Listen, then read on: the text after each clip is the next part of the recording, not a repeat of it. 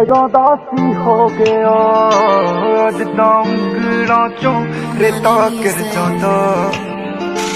ਉਹ ਸਾਡਾ ਪਿਆਰ ਐਦਾਂ ਦਾਸੀ ਹੋ ਗਿਆ ਜਿੱਦਾਂ ਉਂਗਲਾਂ ਚੋਂ ਰੇਤਾ ਗਿਰ ਜਾਂਦਾ। ਜਿਹੜਾ ਕਰ ਪੁੱਛਿਆ ਸੀ ਮੈਂ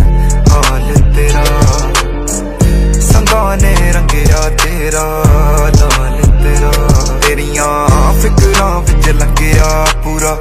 ਸਾਲ ਮੇਰਾ ਚੜਦੇ ਸੂਰਜ ਨਾਲ ਆਉਂਦਾ ਸੀ। ਖਿਆਲ ਤੇਰਾ ਨਾ ਸ਼ੱਕ ਹੋਇਆ ਕਿ ਦੁਨੀਆਂ ਆਣ ਪੈਣਗੀਆਂ ਜਦ ਇਕੱਠਿਆਂ ਨੂੰ ਥੋੜਾ ਹੋ ਚਿਰ ਜਾਂਦਾ। ਸਾਡਾ ਪਿਆਰ ਐਦਾਂ ਦਾ ਸੀ ਹੋ ਗਿਆ। ਜਿੱਦਾਂ ਉਂਗਲਾਂ ਚੋਂ ਰੇਤਾ ਗਿਰ ਜਾਂਦਾ।